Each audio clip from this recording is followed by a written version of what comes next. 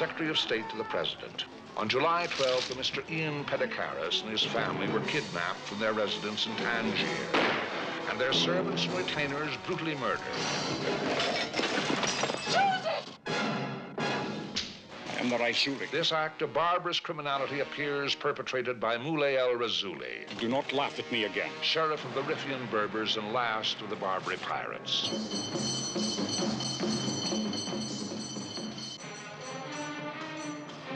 The true defender of the faithful, and the blood of the prophet runs in me, and I am but a servant of his will.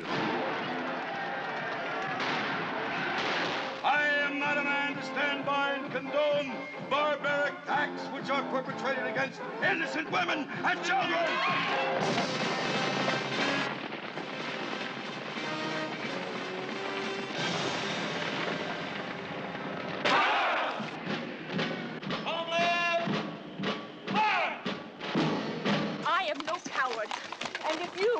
Any of these men should dare to lay a hand on me, I will try with all the strength in me to kill you. Do you play checkers?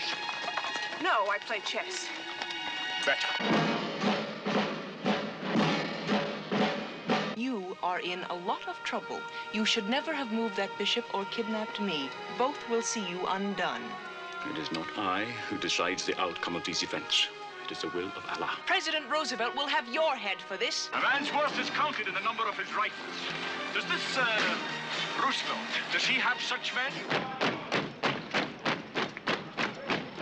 William, Jennifer, dress quickly. We're going to make good an escape.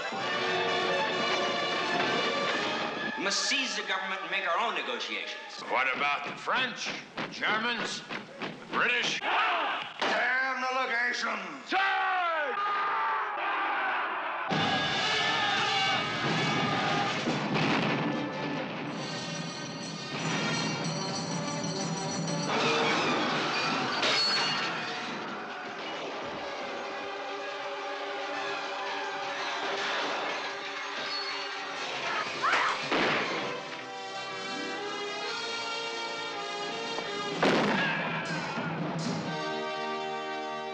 President Roosevelt made an agreement with that man being held over there, and President Roosevelt keeps his agreements.